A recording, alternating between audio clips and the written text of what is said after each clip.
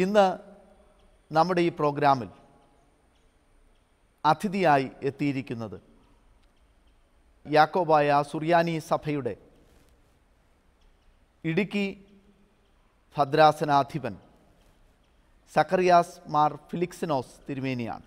തൂത്തൂട്ടി ധ്യാന കേന്ദ്രത്തിന്റെ ആത്മീയ ഗുരു കൂടെയാണ് അദ്ദേഹം. അദ്ദേഹത്തെ ഇന്ന് നമുക്ക് ലഭിച്ചതിൽ ഏറ്റവും സന്തോഷിക്കുന്നു.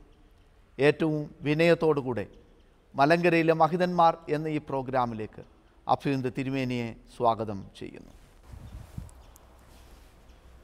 തൂത്തൂട്ടിയുടെ ധ്യാന കേന്ദ്രത്തിന്റെ പിതാവായി അറിയപ്പെടുന്ന അഭ്യുന്ത്യ തിരുമേനി ആത്മീയ മേഖലയിൽ ഇന്ന് ചലുത്തിക്കൊണ്ടിരിക്കുന്ന സ്വാധീനം വളരെ വലുതാണ്. അഭ്യുന്ത്യ തിരുമേനിയുടെ ആത്മീയ ദർശനങ്ങളെക്കുറിച്ച് ഞങ്ങളോട് പങ്കുവയ്ക്കാമോ ഭൂമിയിൽ ഉള്ള എല്ലാ മനുഷ്യരും ഒന്നായി തീരണമെന്ന വലിയ ദർശനത്തോടുകൂടിയാണ് പിതാവായ ദൈവം മനുഷ്യനെ ഭൂമിയിൽ സൃഷ്ടിച്ചത്.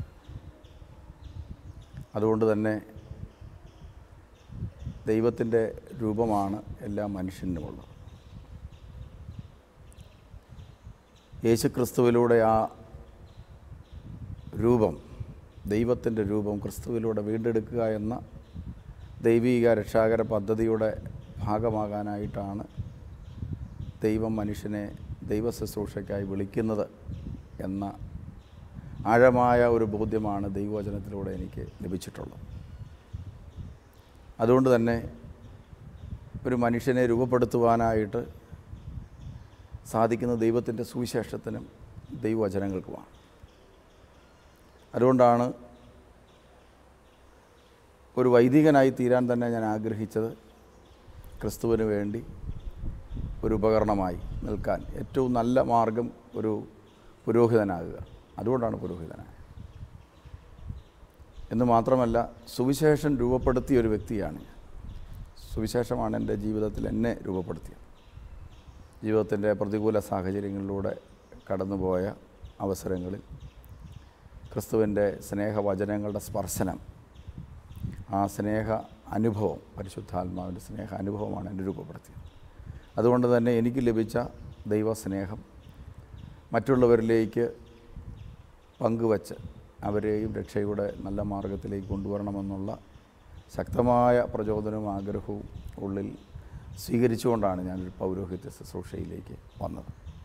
ആ പ്രചോദനമാണ് ഇന്ന് ഇത്തരം ചില ശുശ്രൂഷകളായിട്ട് വളർത്തുവാനായിട്ട് ദൈവം ഇടയാക്കി തീർത്തിട്ടുള്ളത് അഭ്യന്ത്യ തിരുമേനിയുടെ ആത്മീയ ദർശനങ്ങളുടെ ഭാഗമായിട്ട് തിരുമേനി തുടങ്ങിയതാണല്ലോ തൂത്തുട്ടി സെന്റർ എന്ന് പറയും ഈ സെന്ററിലൂടെ നടത്തപ്പെടുന്ന ആത്മീയ പരിപാടികൾ എന്തൊക്കെയാണ് എന്ന് തിരുമേനി ഒന്ന് വിവരിക്കും. ഏറ്റവും പ്രധാനമായിട്ട് നമ്മൾ ചെയ്യുന്നത് ധ്യാന ശുശ്രൂഷകളാണ്. അതിൽ തന്നെ പലതരത്തിലുള്ള ധ്യാന ശുശ്രൂഷകളുണ്ട്. അതിലേറ്റവും പ്രധാനപ്പെട്ടത് ഒരാഴ്ച നീണ്ടു നിൽക്കുന്ന ധ്യാന ശുശ്രൂഷകളാണ്. തിങ്കളാഴ്ച ആരംഭിച്ച് വെള്ളിയാഴ്ച അവസാനിക്കുന്ന ധ്യാന ശുശ്രൂഷകൾ. ഇതിന്റെ ഒരു പ്രത്യേകത വ്യക്തമായ ഒരു സിലബസോടുകൂടി എന്ന് വേണമെങ്കിൽ പറയാം. അങ്ങനെയാണ് ഇതിന്റെ ക്ലാസ്സുകളും പ്രസംഗങ്ങളും ഒക്കെ നമ്മൾ ക്രമീകരിച്ചിരിക്കുന്നത്. ദൈവത്തിന്റെ ആഴമായ സ്നേഹത്തെക്കുറിച്ചും ദൈവത്തിന്റെ വിളിയെക്കുറിച്ചും ആ വിളിക്ക് പ്രത്യുത്തരം നൽകേണ്ടതിന്റെ ആവശ്യകതയെക്കുറിച്ച്. ദൈവവിളിയിൽ നിന്ന് വഴിതെറ്റി വീണു പോകുന്ന വ്യക്തിക്ക് സംഭവിക്കാൻ സാധ്യതയുള്ള പ്രതിസന്ധികളെക്കുറിച്ച്. ആ അവസ്ഥയിൽ നിന്ന് തിരിച്ചു വരുന്ന ഒരു വ്യക്തിയെ ദൈവം എങ്ങനെയാണ് കരകയറ്റുന്നതെന്നതിനെ സംബന്ധിച്ചും റിക്കൺസിലിയേഷനെ അനുരഞ്ജന ശുശ്രൂഷയെ സംബന്ധിച്ചുമൊക്കെ ആഴമായ അതുപോലെ ആന്തരിക സൗഖ്യം ഇന്നർ ഹീലിംഗ് ഇങ്ങനെയുള്ള കാര്യങ്ങളെക്കുറിച്ചും അതോടൊപ്പം ചർച്ചിന്റെ ടീച്ചിങ്സ് കൂതാശകൾ അതുപോലെ മറ്റ് ദൈവികമായ കാര്യങ്ങൾ നമ്മൾ ചെയ്യുന്ന നന്മ പ്രവർത്തികൾ ചെയ്യുന്നതിനെക്കുറിച്ചൊക്കെ എല്ലാം വ്യക്തമായ ഒരു ബോധ്യമാണ് നമ്മൾ ഈ ധ്യാന ശുശ്രൂഷയിലൂടെ ഒരാഴ്ച കൊണ്ട് കൊടുക്കുന്നത്. അതോടൊപ്പം തന്നെ അവയൊക്കെ അവർക്ക് അനുഭവിക്കുവാനും പ്രാർത്ഥിക്കുവാനുമുള്ള അവസരങ്ങളും കൂടി നമ്മൾ ക്രിയേറ്റ് ചെയ്യുന്നു. പാട്ട് പാടുന്നു പ്രാർത്ഥിക്കുന്നു ദൈവത്തെ സ്തുതിക്കുന്നു. പിന്നെ പ്രത്യേകിച്ച് സുറിയാനി സഭകൾക്കെല്ലാം കുംഭസാര കൺഫെഷൻ ഉണ്ട്. അപ്പോൾ അവരുടെ പാപങ്ങളൊക്കെ തുറന്നു പറയാനുള്ള അവസരങ്ങൾ.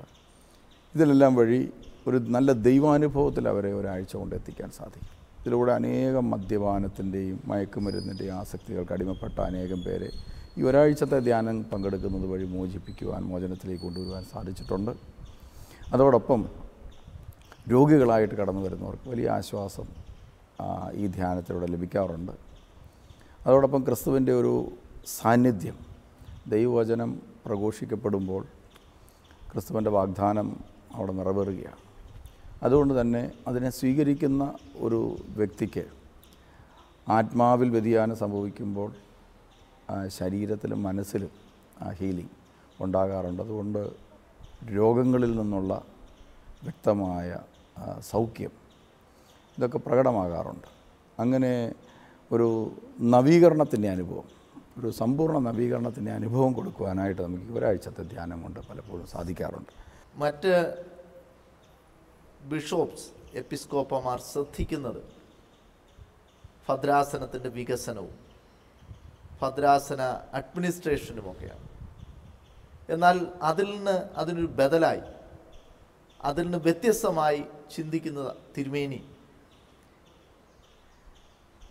മനുഷ്യന്റെ ആന്തരികമായ സൗഖ്യം. അവിടെയാണ് സുവിശേഷം പരിവർത്തിക്കുന്നത് എന്ന് വിശ്വസിക്കുന്നു. അതിന് തിരുമേനിക്ക് ഉണ്ടായ പ്രചോദക ശക്തി എന്താണ്?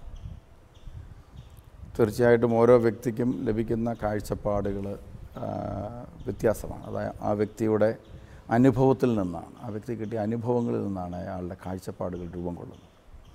എന്നെ സംബന്ധിച്ചിടത്തോളം വ്യക്തിപരമായി എന്റെ ജീവിതത്തിൽ സുവിശേഷമാണ് എന്നെ രൂപപ്പെടുത്തിയത്. എന്റെ പതിനാല് പതിനാറാമത്തെ വയസ്സിലാണ് എന്റെ പിതാവ് മരിക്കുന്നത്. എന്റെ പിതാവ് ഒരു സാധാരണ പോലീസുകാരനായിരുന്നു. അപ്പോൾ ഒരിക്കൽ തെടനാട് എന്ന് പറയുന്ന സ്ഥലത്ത് വെച്ച് ഒരു കള്ളനോട്ട് പ്രതിയെ അറസ്റ്റ് ചെയ്ത് കൊണ്ടുപോകുന്ന സമയത്ത് പോലീസ് സ്റ്റേഷനിൽ വെച്ച് ഒരു വെടിവെപ്പുണ്ടായി.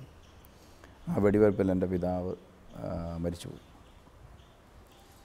പിതാവുമായിട്ട് വലിയ ഒരു അറ്റാച്ച്മെന്റ് ഉണ്ടായിരുന്ന എനിക്ക് എന്റെ ജീവിതത്തിലുള്ള വലിയൊരു ഷോക്കായിരുന്നു ആ ഒരു അനുഭവം.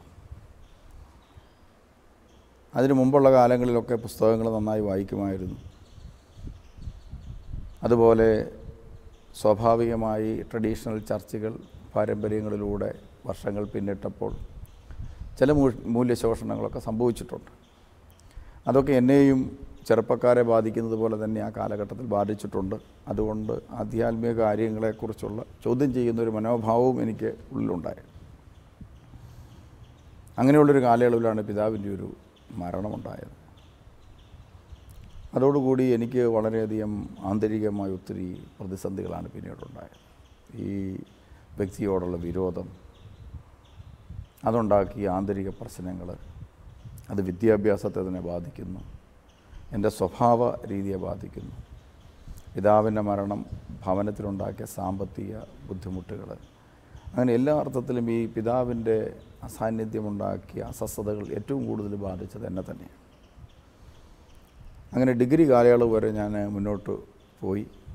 അപ്പോഴാണ് ദൈവത്തിന്റെ സുവിശേഷം കേൾക്കുവാനായിട്ട് എനിക്കൊരു പ്രത്യേക അവസരം ഉണ്ടായത്. കോട്ടയം നാഗമ്പടം മൈതാനത്ത്. ആ കാലഘട്ടത്തിൽ ഈ മാത്യു നായ്ക്കമ്പറമ്പിൽ അച്ഛന്റെ നേതൃത്വത്തിലുള്ള സുവിശേഷ ശുശ്രൂഷ ഫലപ്രദമായി നടത്തുന്ന ഒരു കാലയളവാണ്. അത് വികസിച്ചു വരുന്ന ഒരു കാലയളവാണ്. വളരെ യാദൃച്ഛ്യമായി അതിലെ കടന്നു പോകുമ്പോൾ യേശു ക്രിസ്തുവിന്റെ ഈ സുവിശേഷം കേൾക്കാനായിട്ടിടയായി തീർന്നു. അങ്ങനെ ഞാൻ അവിടെ ഇരുന്ന് ആരും ആകർഷിച്ച് വിളിച്ചിട്ട് പോയതല്ല. യാദൃശ്യമായി നടന്നു പോകുന്ന വഴിക്കിത് എന്നെ ഒന്ന് സ്പർശിച്ചതായിട്ട് എനിക്ക് തോന്നുന്നു. ഇവിടെ ഇരുന്ന് ഞാൻ സുവിശേഷം കേട്ടു. അന്ന് വൈകുന്നേരമായപ്പോഴേക്കും എനിക്ക് വലിയൊരു രൂപാന്തരം രൂപാന്തരീകരണം സംഭവിച്ചതായി എനിക്ക് ഫീൽ ചെയ്യുന്നുണ്ട്. അതുകൊണ്ട് ഞാൻ ഡിഗ്രി പൂർത്തിയാക്കി കഴിഞ്ഞപ്പോൾ ഒരു ധ്യാനം കൂടുവാനായിട്ട് ഇടയായി തീർന്നു സുവിശേഷം കേൾക്കാൻ വേണ്ടി. അതെന്റെ ജീവിതത്തിന്റെ സമ്പൂർണ പരിവർത്തനത്തിന് കാരണമായി യേശു ക്രിസ്തു ആരാണ്? ഒരനുഭവ ഒരനുഭവമായി മാറി. നമ്മൾ വായനയിലൂടെ പുസ്തകങ്ങളിലൂടെയൊക്കെ ഒത്തിരി അറിവുകൾ നേടാറുണ്ട്. എന്നൊരു ആത്മാവിന്റെ മേഖലയിലുള്ള ഒരു അറിവായിട്ട് അനുഭവമായിട്ട് ക്രിസ്തു മാറി. അങ്ങനെ ക്രിസ്തു ഒരു വ്യക്തിബന്ധം ക്രിസ്തുവുമായിട്ട് ഉണ്ടായി. ആ അനുഭവമായിട്ട് ഞാൻ തിരിച്ച് നാട്ടിൽ വന്നപ്പോൾ പിന്നെ എന്റെ ഏറ്റവും വലിയ ഒരു ചിന്ത ഈ ക്രിസ്തുവിനെ ഈ എനിക്ക് കിട്ടിയ ഈ സ്നേഹ സൗഭാഗ്യം മറ്റൊരാളിലേക്ക് പകരണം. സത്യത്തിൽ അതിനുവേണ്ടി മാത്രമാണ്. അതിന് ഏറ്റവും നല്ലൊരു മീഡിയമായിട്ട് ഞാൻ കണ്ടത്. അന്നത്തെ കാലത്ത് പുരോഹിതനായിരുന്നു. പുരോഹിതന്റെ പൗരോഹിത്യ പള്ളിയുടെ ആഴവും അർത്ഥവും ഒക്കെ പിന്നീടാണ് മനസ്സിലായത്. അന്നെനിക്ക് ക്രിസ്തുവിനെ കൊടുക്കാൻ പറ്റിയ ഏറ്റവും നല്ല മാർഗം. അതോടൊപ്പം ക്രിസ്തുവിന്റെ സ്നേഹാനുഭവത്തിൽ എപ്പോഴും ജീവിക്കാൻ പറ്റുന്നൊരു അനുഭവം. അന്ന് ഞാൻ അങ്ങനെ ചിന്തിച്ചത് ജോലിയൊക്കെ ചെയ്ത് ജീവിക്കുന്നത് നല്ലതാണെങ്കിലും ഇത് ക്രിസ്തുവിന്റെ സ്നേഹത്തിൽ നമ്മളെ ഒത്തിരി അകറ്റിക്കളയുന്നൊരു തോന്നൽ അന്നുണ്ടായി. ഇന്നെന്റെ ആ ചിന്തകൾ മാറിയിട്ടുണ്ട്. എങ്കിൽ പോലും അന്ന് എനിക്ക് തോന്നിയതാണ്. അതുകൊണ്ട് ഒരു പുരോഹിതനായാൽ എപ്പോഴും ക്രിസ്തുവിന് വേണ്ടി ക്രിസ്തുവിനോട് കൂടെ പൂർണ സമയം. സമയം ചെലവഴിക്കാൻ പറ്റും. അതിനാണ് ഞാനൊരു പൗരോഹിത്യ ശുശ്രൂഷയിലേക്ക് വന്നത്. അപ്പോൾ അതുകൊണ്ട് തന്നെ എനിക്ക് എന്റെ ആന്തരിക ഉൾവിളി ഇങ്ങനെ നിലനിൽക്കുന്നതുകൊണ്ട് മറ്റുള്ളതിനേക്കാളൊക്കെ ഉപരിയായി ഇതിലെനിക്കൊരു വലിയ സന്തോഷം കണ്ടെത്താൻ പറ്റുന്നുണ്ട്. ആത്മാക്കളെ നേടുന്നതിലും ഒരു പാപിയുടെ മാനസാന്തരത്തിലും അതുപോലെ ഒരു ബലഹീനനെ കൈപിടിച്ചുയർത്തുന്നതിലുമൊക്കെ എനിക്ക് വല്ലാത്തൊരു ആനന്ദവും സന്തോഷവും ലഭിക്കുന്നു ഉണ്ട്. അതുകൊണ്ട് എന്റെ ഒരു ആന്തരിക സന്തോഷത്തിനാണ് ഞാൻ ഈ ശുശ്രൂഷ ഇങ്ങനെ ചെയ്തുകൊണ്ട്. അപ്പോൾ ഇത് തിരുമേനിയുടെ ജീവിതത്തിലെ പ്രയാസങ്ങളെ സംബന്ധിച്ച് പറഞ്ഞു. ഈ ശുശ്രൂഷയ്ക്ക് വേണ്ടി രൂപാന്തരപ്പെടുവാൻ പിതാവിന്റെ കാലശേഷം മാതാവിന്റെ സ്വാധീനം എങ്ങനെയായിരുന്നു? എന്റെ അമ്മ ചെറുപ്പം കാലം മുതലേ തന്നെ എന്റെ പിതാവും മാതാവും രണ്ടുപേരും ദൈവിക കാര്യങ്ങളോട് താല്പര്യമുള്ള വ്യക്തികളായിരുന്നു. ചെറുപ്പകാലങ്ങളിലൊക്കെ അമ്മയാണ് എന്നെ പള്ളിയിലൊക്കെ കൂട്ടിക്കൊണ്ടുപോയിരുന്നത് ആത്മീയ കാര്യങ്ങളിലേക്കൊക്കെ കൊണ്ടുപോയിരുന്നത്. അപ്പോൾ എന്റെ ഒരു ജീവിതത്തിലൊരു അനുഭവം എന്റെ കൊച്ചു പ്രായത്തിൽ എന്റെ അമ്മ എനിക്ക് വേണ്ടി ഒരു നേർച്ച നേർന്നിട്ടുണ്ട്. അത് ഞാനൊരു തൊട്ടിയിലും താഴെ പോയി. തൊട്ടിയിലും താഴെ പോയി എന്റെ നാവ് രണ്ടായിട്ട് കീറിപ്പോയി അന്നത്തെ കാലത്ത് മെഡിക്കൽ കോളേജിലൊന്നും ആ സമയത്ത് കൊണ്ടുപോകാനുള്ള വാഹനമൊന്നും ഈ കുമരകത്തു നിന്ന് മെഡിക്കൽ കോളേജിൽ എത്തിക്കുക എന്ന് പറയുന്നത് അന്നത്തെ കാലത്ത് സാധ്യമേ അല്ല. അപ്പോൾ തൊട്ടടുത്തുള്ള ഒരു ഡിസ്പെൻസറി കൊണ്ടുവന്നു അവരിവിടെ അത് ചെയ്യാൻ സാധിക്കുകയില്ല എന്നൊക്കെ പറഞ്ഞെങ്കിലും എല്ലാവരും കൂടെ കൂടി നാട്ടുകാരൊക്കെ കൂടെ കൂടി പറഞ്ഞ് എങ്ങനെയെങ്കിലും ഇവിടെ വെച്ചൊന്ന് കുത്തിക്കെട്ടി ശരിയാക്കി തരണം. അങ്ങനെ അവരതുകൊണ്ട് പറഞ്ഞ് ഇത് കുത്തിക്കെട്ടിയാൽ ശരിയാകുകയില്ല. കൊഞ്ഞ ഉണ്ടാവും. നാവിന് തകരാറുണ്ടാവും എന്നൊക്കെ പറഞ്ഞിട്ടാണ് ചെയ്തത്. എന്തായാലും എന്റെ അമ്മയൊരു നേർച്ച നേർന്ന ഇതാണ് വളർന്നു കഴിയുമ്പോൾ നടക്കാൻ പ്രായമായി കഴിയുമ്പോൾ എന്നെയും കൊണ്ട് മഞ്ഞണിക്കരയിലുള്ള പള്ളിയിൽ ഒരു സ്വർണ നാവും വാങ്ങി പോകാമെന്ന നേർച്ച നേർന്നു. ഞാൻ ആ നേർച്ച നിറവേറ്റുകയും ചെയ്യും.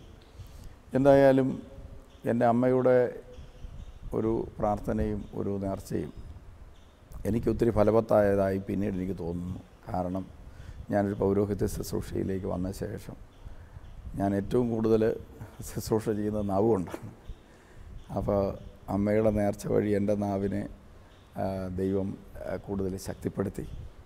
പിന്നീട് പിതാവിന്റെ മരണശേഷം ഞാൻ ഈ ധ്യാനമൊക്കെ കൂടി തിരിച്ചു ചെന്നപ്പോൾ തിരിച്ചു ചെല്ലുന്നത് വരെയുള്ള കാര്യം കാലങ്ങളിൽ എന്നെക്കുറിച്ച് അമ്മ ഒത്തിരി പ്രയാസപ്പെട പെടേണ്ടി വന്നിട്ടുണ്ട് കാരണം ഞാൻ ഈ വിശ്വാസ മേഖലയിൽ എല്ലാ മേഖലകളെയും സ്വല്പം ചോദ്യം ചെയ്യുന്ന ഒരു സ്വഭാവ രീതി എനിക്കുണ്ടായിരുന്നു. അപ്പോൾ ഒരു ഭക്തനായിരുന്നില്ല ഞാൻ അന്നേരം.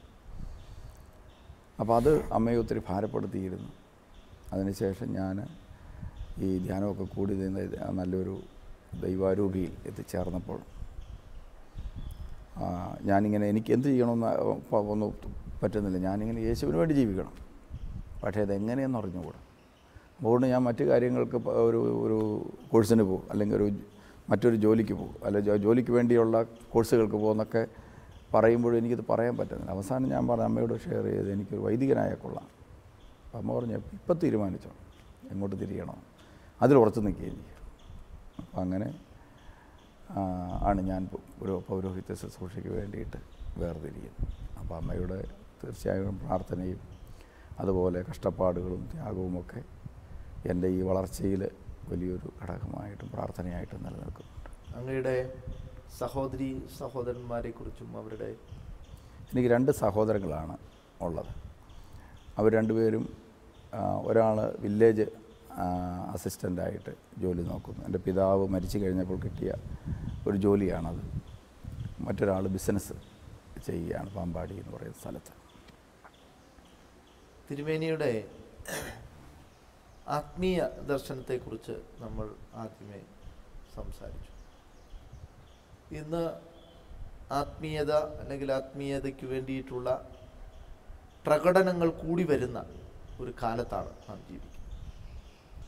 കൈയടിക്കുകയും പാട്ടുപാടുകയും ബഹളമുണ്ടാക്കുകയും ഒക്കെ ചെയ്യുന്നതാണ് എന്ന് ആത്മീയത എന്ന് വിവക്ഷിക്കപ്പെടുന്ന ഒരു ലോകത്താണ് നമ്മൾ ജീവിക്കുന്നത്. തിരുമേനി ഈ ധ്യാന കേന്ദ്രം നടത്തുമ്പോൾ ആത്മീയത എന്നതുകൊണ്ട് ഏത് ഫോക്കസിലാണ് ആത്മീയതയെ വിവക്ഷിക്കാൻ തിരുമേനി താല്പര്യപ്പെടുന്നത്? യേശുക്രിസ്തു ലോകത്തോട് പറഞ്ഞത് ശിഷ്യന്മാരോട് പറഞ്ഞ ഏറ്റവും പ്രധാനപ്പെട്ട വാക്കാണ് മലയിലെ പ്രസംഗ സമയത്ത് നിങ്ങൾ ഭൂമിയുടെ ഉപ്പാണ്. അപ്പോൾ ഒരു ഉപ്പ് ഒരു കല്ലായി കിടന്നാൽ ഒരിക്കലും അത് ആളുകൾക്ക് അസ്വസ്ഥത ഉണ്ടാക്കത്തുള്ളൂ ഒരു കറിക്കകത്ത് ഇപ്പോൾ ഒരു സാമ്പാറിനകത്ത് ഉപ്പ് കിടക്കുകയാണെങ്കിൽ ആരും പറയും? ഒരു ഒരിക്കലും ഉപ്പ് കല്ല് കിട്ടിയെന്ന് പറയുക.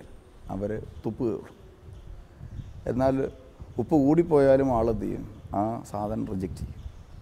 എന്നാലൊരു ഉപ്പ് കൃത്യമായി അതിനകത്ത് അലിഞ്ഞു ചേർന്ന് കിടന്നാൽ ആ ആഹാരം നന്നായി തീരും. ഒരിക്കലും ഉപ്പിനെക്കുറിച്ചൊന്നും പറയുക.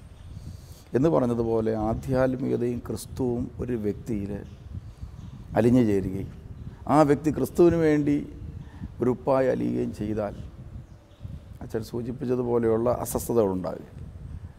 എന്നാൽ ഇന്ന് കുറേ പ്രകടനങ്ങളുണ്ടാകുന്നുണ്ട്. അതിനപ്പുറത്ത് ക്രിസ്തുവും ക്രിസ്തുവിന്റെ ഫലവും പുറപ്പെടാതെ വരുന്നതുകൊണ്ടാണ് ഇത്തരം കാര്യങ്ങളെല്ലാം വിമർശിക്കപ്പെടുന്നത്. എല്ലാ സഭയ്ക്കും എല്ലാ സഭകൾക്കും. അതുപോലെ ക്രിസ്തുവിൽ ഒന്നിച്ചു കൂടുന്നവർക്കുമൊക്കെ അവരുടേതായ ആരാധനകളും ആചാരാനുഷ്ഠാനങ്ങളും ഒക്കെ ഉണ്ട്. വേദനിക്കുന്നവരോടൊപ്പം വേദനിക്കാനായിട്ടുള്ള ഒരു പ്രേരണ തിരുമേനിയുടെ ശാരീരികമായ ബുദ്ധിമുട്ടുകളോ അല്ലെങ്കിൽ മറ്റ് പ്രയാസങ്ങളോ ഒക്കെ അത് ഒരുപക്ഷെ ഈ വേദനിക്കുന്നവരോടൊപ്പം വേദനിക്കാനുള്ള ഒരു മാനസികാവസ്ഥ ഉണ്ടാക്കിയിട്ട് അങ്ങനെ എന്തെങ്കിലും ജീവിതാനുഭവം തിരുമേനിക്ക് ഷെയർ ചെയ്യാനായിട്ടുണ്ടോ? എന്റെ ചെറുപ്പകാലങ്ങൾ എന്റെ പിതാവ് ഒരു ഞാൻ നേരത്തെ സൂചിപ്പിച്ചല്ലോ ഒരു സാധാരണ ഗവൺമെന്റ് ഉദ്യോഗസ്ഥനായി. അദ്ദേഹത്തിന്റെ ഒരു പ്രത്യേകത അദ്ദേഹം ജീവിതത്തിൽ ഒരിക്കലും കൈക്കൂലി വാങ്ങിക്കാത്ത ഒരാളായിരുന്നു. അതുകൊണ്ട് തന്നെ വളരെ തുച്ഛമായ ആ, സ- ആ, സാമ്പത്തിക അവസ്ഥയിൽ എല്ലാ മക്കൾക്കും നല്ല വിദ്യാഭ്യാസം നല്ല നിലയിൽ കൊടുക്കാനൊന്നും അദ്ദേഹത്തിന് സാധിച്ചിട്ടില്ല. അപ്പോൾ അതുണ്ടാക്കിയ ബുദ്ധിമുട്ടുകളൊക്കെ എന്നെയും വ്യക്തിപരമായി ബാധിച്ചിട്ടുണ്ട്. അതോടൊപ്പം പിതാവിന്റെ പെട്ടെന്നുള്ള മരണവും കൂടിയായപ്പോൾ എന്നെ ഒരു വേദനിക്കുന്ന ഒരുവന്റെ ബുദ്ധിമുട്ടുകൾ തിരിച്ചറിയുന്ന ഒത്തിരി അനുഭവങ്ങൾ എന്റെ ജീവിതത്തിൽ ഉണ്ടായിട്ടുണ്ട്. അതുകൊണ്ട് തന്നെ എന്ന് മാത്രമല്ല സുവിശേഷം കുറച്ച് പ്രകാശം കൊണ്ട് തന്നു. അപ്പോൾ വേദനിക്കുന്നവനെ കാണും നമ്മുടെ വേദനകൾ നമ്മൾ തിരിച്ചറിയുന്നതോടൊപ്പം വേദനിക്കുന്നവനെ കാണാനുള്ള ഒരു കണ്ണും കൂടെ ദൈവം എനിക്ക് തുറന്നു തന്നു. അതുകൊണ്ടാണ് നമ്മൾ ഒത്തിരി സാധു നമ്മുടെ എല്ലാ ശുശ്രൂഷകളും പാവങ്ങളെ സപ്പോർട്ട് ചെയ്തുകൊണ്ടുള്ള ശുശ്രൂഷയാണ്. ഇപ്പോൾ ഉദാഹരണത്തിന് കേരളത്തിൽ അനേകം ധ്യാന കേന്ദ്രങ്ങൾ ഉണ്ടായിരുന്നു. നൂറോളം ധ്യാന കേന്ദ്രങ്ങളുണ്ട്. എല്ലാ ധ്യാന കേന്ദ്രങ്ങളിലും രജിസ്ട്രേഷൻ ഫീ വെച്ചാണ് താമസിച്ചുള്ള ധ്യാന ഫുഡ് ആൻഡ് അക്കോമഡേഷൻ അത് ആവശ്യമാണ് അപ്പോൾ എനിക്ക് പരിശുദ്ധാത്മാവ് നൽകിയ ഒരു പ്രചോദനമാണ്. ധ്യാനകേന്ദ്രം ആരംഭിച്ചപ്പോൾ വരുന്നവർക്കെല്ലാം സൗജന്യമായി ഈ ശുശ്രൂഷ ചെയ്യുക. അപ്പോൾ അതും ഏതെങ്കിലും ഒരു അപ്പോൾ എന്നോട് ചില ആളുകൾ പറഞ്ഞു അങ്ങനെയാണെങ്കിൽ പാവപ്പെട്ടവർക്ക് മാത്രം രജിസ്ട്രേഷൻ വേണ്ടെന്ന്. ബാക്കിയുള്ളവർക്ക് നമുക്ക് വെക്കാം. അപ്പോൾ ഞാൻ പറഞ്ഞു ഒരാൾക്ക് സൗജന്യം കൊടുക്കുകയും ഒരാളിന് കാശ് മേടിക്കുകയും ചെയ്യും. ഒരു സുവിശേഷം കേൾക്കുന്നവന് തന്നെ ഒരു ബോധമുണ്ട്. ഞാൻ കാശ് കൊടുക്കാതിരിക്കുന്നവനായതുകൊണ്ട് എനിക്കെന്തെങ്കിലും കുറയും. അതുകൊണ്ട് ഇവിടെ വരുന്ന എല്ലാവർക്കും നമ്മൾ രജിസ്ട്രേഷൻ ഫീസോ അങ്ങനെയൊന്നും വെക്കാതെ സൗജന്യം അതും ഈ പാവങ്ങളെ നമ്മൾ സപ്പോർട്ട് ചെയ്യാൻ വേണ്ടിയിട്ട് ചെയ്തിട്ടുള്ളതാണ്. അത് മറ്റ് മേഖലകളിലുമൊക്കെ നമുക്ക് ചെയ്യുവാനായിട്ട് സാധിച്ചത് നമുക്ക് കിട്ടിയ അനുഭവവും. പിന്നെ ക്രിസ്തു സൂചിപ്പിച്ച ഒരു വാക്ക് അന്ത്യവിധിയിൽ ആളുകളെ തരംതിരിക്കുമ്പോൾ കർത്താവ് സ്വർഗത്തിലേക്ക് മനുഷ്യനെ തിരഞ്ഞെടുത്ത് മാറ്റുന്നതിനെക്കുറിച്ച് പറയുന്ന ഇതാണ്. ഈ ചെറിയവരിൽ ഒരുവന് കൊടുത്തപ്പോൾ എനിക്കാണ് നൽകിയത്. അപ്പോൾ ചെറിയവനിലേക്കുള്ള അകലമാണ് സ്വർഗരാജ്യത്തിലേക്കുള്ള അകലമെന്ന ഒരു ബോധ്യം എനിക്ക് ആഴത്തിൽ എന്റെ ആത്മാവിൽ ലഭിച്ചിട്ടുണ്ട്. അതുകൊണ്ട് എപ്പോഴും ചെറിയവരെ അവഗണിച്ചുകൊണ്ടുള്ള ഒരു ശുശ്രൂഷ ദൈവത്തെ അവഗണിച്ചുകൊണ്ടുള്ള ഒഴിവാക്കിക്കൊണ്ടുള്ള ശുശ്രൂഷയായിട്ട് എനിക്ക് തോന്നിയിട്ടുള്ളത് കൊണ്ടാണ് ഞാനെപ്പോഴും ഈ ഒരു മേഖലയെ കൂടുതൽ ശ്രദ്ധിക്കുക. തിരുവേനിയുടെ വരും കാലങ്ങളിലെ അല്ലെങ്കിൽ വരുന്ന രണ്ട് ദശകങ്ങളിലേക്ക് പുതിയ പദ്ധതി എന്ന നിലയിൽ എന്തെങ്കിലും മനസ്സിൽ കണക്ക് കൂട്ടി വെച്ചിട്ടുണ്ടോ? അങ്ങനൊരു ഒരു ആത്മീയ ദർശനം. ഞാൻ രണ്ട് മൂന്ന് പ്രോജക്റ്റുകളാണ് എന്റെ മനസ്സിൽ ഇപ്പോഴുള്ളത്. ഒന്ന് ഒരു ഡി അഡിക്ഷൻ സെന്ററാണ് നമ്മൾ സാധാരണ ഡി അഡിക്ഷൻ സെന്ററിന് വ്യത്യസ്തമായി പ്രാർത്ഥനയും ആധ്യാത്മികതയും അതോടൊപ്പം ട്രീറ്റ്മെന്റും ഉൾക്കൊള്ളുന്ന ഒരു ഡി അഡിക്ഷൻ സെന്റർ അതിന്റെ ഫോളോ അപ്പ് എന്റെ മനസ്സിലുള്ള ഒരു കാര്യമാണ്. മറ്റൊന്ന് എന്നെ ഈ സ്ഥാപനത്തിലേക്ക് ആദ്യമായിട്ട് കോട്ടയം ഭദ്രാസനം എത്ര പോലീത്ത അഭിനയ തോമസ് മാർത്തി തിമോത്യോസ് തിരുമനസ് കൊണ്ട് വിടുന്നത് ധ്യാന ശുശ്രൂഷ നടത്താൻ വേണ്ടിയല്ല. അദ്ദേഹത്തിന്റെ ദർശനം എന്ന് പറയുന്നത് പ്രായമായ വ്യക്തികളെ പരിചരിക്കുന്ന ഒരു സെന്റർ അത് paid old age home paid സെന്ററും അതുപോലെ അതിൽ നിന്ന് കിട്ടുന്ന ഇൻകം കൊണ്ടൊരു പാവങ്ങളെ സഹായിക്കുന്ന ഒരു ഓൾഡ് ഏജ് ഹോം ഇങ്ങനത്തെ രണ്ട് കൺസെപ്റ്റായിരുന്നു പക്ഷേ അതിനോട് എനിക്ക് മനസ്സുകൊണ്ട് സത്യത്തിൽ അത് ഞാൻ ഏറ്റെടുത്തെങ്കിലും എനിക്ക് അന്നത്തെ കാലത്ത് അതിനെ മനസ്സുകൊണ്ട് സ്വീകരിക്കാൻ അത്ര സാധിച്ചിരുന്നില്ല. എന്നാൽ ഒരു വലിയ കാലയളവ് പിന്നിട്ട് കഴിഞ്ഞപ്പോഴാണ് ഇപ്പോൾ എനിക്ക് മനസ്സിലായി ഞാൻ ലോകം ഞാൻ അനേകം രാജ്യങ്ങളിലൊക്കെ തിരുമേനി അനേകം രാജ്യങ്ങൾ യാത്ര ചെയ്തിട്ടുള്ള ആളാണ്. ലോകത്തിൽ നിന്ന് അനേകം കാര്യങ്ങൾ പഠിച്ചിട്ടുള്ള ആളാണ്. ആ ദർശനത്തിൽ നിന്നാണ് അദ്ദേഹം പറഞ്ഞത്. ആ ദർശനം എനിക്ക് മനസ്സിലായി അപ്പോൾ ഞാനിങ്ങനെ ചിന്തിച്ചു ആരെങ്കിലും തങ്ങളുടെ മാതാപിതാക്കന്മാരെ പണം കൊടുത്ത് നോക്കാൻ ഏൽപ്പിക്കുന്നവരെ നോക്കുക എന്നുള്ളതല്ല എന്റെ ദൗത്യമല്ല എന്ന് ഞാൻ ചിന്തിച്ചിരുന്നു. പക്ഷേ ഇപ്പോൾ എനിക്ക് തോന്നുന്നത് നമ്മുടെ മലയാളികൾ മുഴുവൻ വിദേശ രാജ്യങ്ങളിലേക്ക് പോകുന്നത് അതൊരു അനിവാര്യവുമാണ് ഘടകമാണ്. രാജ്യത്തിന്റെ വളർച്ചയ്ക്കും അത് സഹായകരമായി തീർന്നിട്ടുണ്ട്. നിർധനരായ പല കുടുംബത്തിലെ കുഞ്ഞുങ്ങൾ ഭവനമുണ്ടായി അവരുടെ കുടുംബ മാതാപിതാക്കന്മാർക്ക് പണമുണ്ടായി അതൊക്കെ സാധ്യമായത് വിദേശ രാജ്യം കൊണ്ടാണ് എന്നാൽ അവരവിടെ പോയി താമസിച്ച് കഴിയുമ്പോൾ ഈ പ്രായമായ മാതാപിതാക്കന്മാർ പണമുണ്ടായി വീടുണ്ടായി. എല്ലാം ഉണ്ടായെങ്കിലും അവർക്ക് കൃത്യമായി പള്ളിയിൽ പോകാൻ പറ്റുന്നില്ല. അവർക്ക് ഹോസ്പിറ്റലിൽ കൃത്യമായി പോകാൻ പറ്റുന്നില്ല. ഇനി അവരെ പരിചരിക്കാൻ വേണ്ടി അവരെ അപ്പോയിന്റ് ചെയ്യുന്ന വ്യക്തികൾ ആത്മാർത്ഥതയോടെ അവരെ നോക്കുന്നില്ലെന്ന് മാത്രമല്ല അവരുടെ ജീവൻ പോലും അപകടത്തിലാകുന്ന അവസ്ഥ. ഒറ്റപ്പെട്ട ജീവിതം അവർക്കുണ്ടാക്കുന്ന മാനസിക വ്യതകൾ ഇതെല്ലാം വെച്ച് നോക്കുമ്പോൾ അങ്ങനെയുള്ളവരെ ഒന്ന് ചേർത്ത് കൂട്ടി കൂട്ടി. ഒരു കൂട്ടായ്മയാക്കി നിർത്തിക്കൊണ്ട് ഒരു സെന്റർ തുടങ്ങുക. അതിനോട് ചേർന്നൊരു പാലിയേറ്റീവ് സെന്ററും ഒക്കെ ആയിട്ടൊരു ശുശ്രൂഷയും കൂടി ചെയ്താൽ അവരുടെ ജീവിത സായാഹ്നത്തിൽ അവർക്ക് വളരെയധികം സന്തോഷം. പ്രത്യേകിച്ച് ഒരു പിതാവെന്ന നിലയിൽ എനിക്ക് കിട്ടിയിരിക്കുന്ന പൗരോഹിത്യത്തിന്റെ ഒരു സ്നേഹം അവർക്ക് പങ്കുവെച്ചു കൊടുക്കുവാനും പിന്നെ പുരോഹിതരായി പഠിക്കുവാനൊക്കെ വരുന്ന കുട്ടികളെ കുട്ടികൾക്ക് തങ്ങൾ ഈ പ്രായമായവർക്ക് സ്നേഹം പങ്കുവെച്ച് കൊടുക്കാനൊക്കെ പറ്റുന്ന അവർക്ക് നല്ല ജീവിത സായാഹ്നത്തിൽ നല്ലൊരു അന്തരീക്ഷം കൊടുക്കുന്ന ഒരു സ്ഥാപനം എന്റെ മനസ്സിൽ ഉണ്ട്. പിന്നെ ആധ്യാത്മികതയും അതോടൊപ്പം ദൈവശാസ്ത്രത്തിന്റെ ആഴങ്ങളും ഉൾക്കൊള്ളുന്ന ഒരു ബൈബിൾ കോളേജ് എത്രയാണ് എന്റെ മനസ്സിൽ എന്റെ ഈ ഒരു ഇരുപത് വർഷത്തെ ജീവിതായുസിൽ ഞാൻ കാണുന്നത്.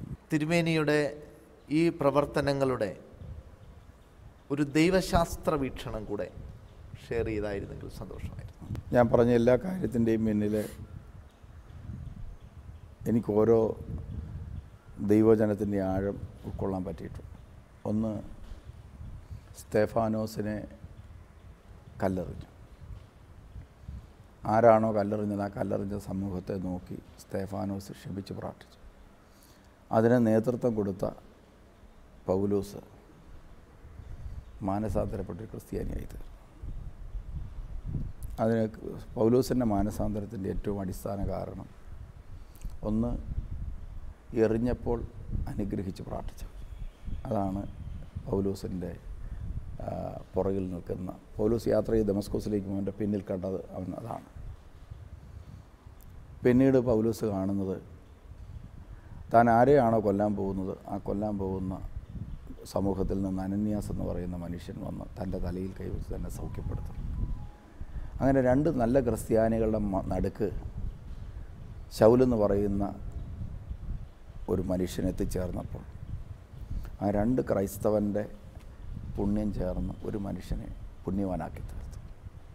ഇതുപോലെ നമ്മുടെ സുവിശേഷത്തിലൂടെ പുണ്യങ്ങൾ പരിശീലിപ്പിക്കുമ്പോൾ അതിന്റെ മധ്യത്തിൽ നിൽക്കുന്നവൻ പുണ്യവാനായി തീരണം എന്ന ദർശനമാണ് പ്രതികൂലതകളുടെ എല്ലാം മധ്യത്തിൽ വെച്ച് നമ്മൾ ഈ ശുശ്രൂഷകൾ ചർച്ചിനുള്ളിലും അതുപോലെ പുറത്തും നമ്മൾ ചെയ്യുവാനായിട്ട് കാരണമായി തീരുന്നു അപ്പോൾ പുണ്യങ്ങൾ ചെയ്ത് നമുക്കുള്ളിൽ ഉള്ളിനെ രൂപാന്തരപ്പെടുത്തിയെടുക്കുക.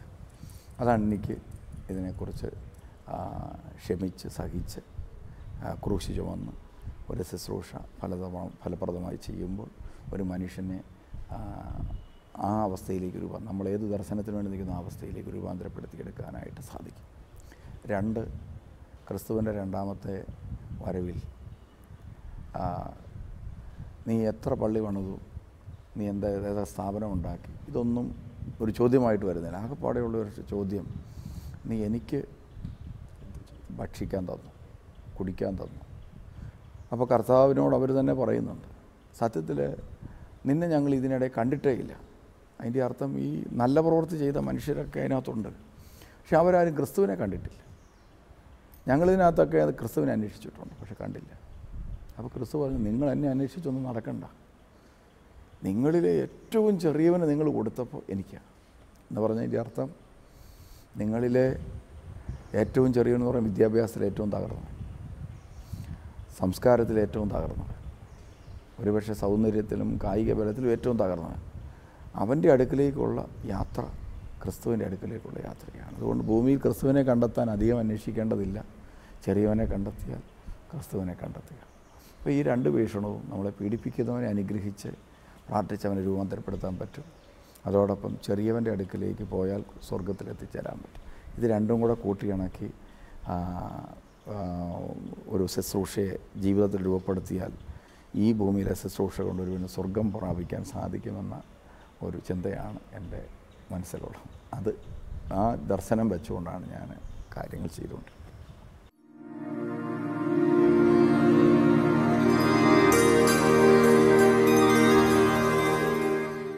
കിടമത്സരങ്ങളുള്ള ഈ ആത്മീയ ഗോളത്തിൽ ഫിലിക്സിനോസ് തിരുമേനിയെ പോലെയുള്ള തിരുമേനിമാർ വളരെ ആനുകാലിക സുവിശേഷമാണ്. അക്ഷരം മാംസമാകണം സുവിശേഷം മാംസമാകണം എന്ന ശക്തമായ തീഷ്ണതയാണ് അഭിയന്ത് തിരുമേനിയെ മുൻപോട്ട് നയിക്കുന്നത്. The last the least and the lost നഷ്ടപ്പെട്ടവനെയും ഒടുക്കത്തവനെയും ആരും കാണാത്തവനെയും തേടിയുള്ള യാത്രയാണ് ക്രിസ്തുവിന് വേണ്ടിയുള്ള യാത്ര എന്ന് വിശ്വസിക്കുന്ന അഭിയന്ത് തിരുമേനിയോടൊപ്പം ഇത്രയും സമയം ചിലവഴിക്കുവാൻ സാധിക്കുന്നത് തന്നെ ജീവിതത്തിലെ ഒരു പുണ്യമാണ്.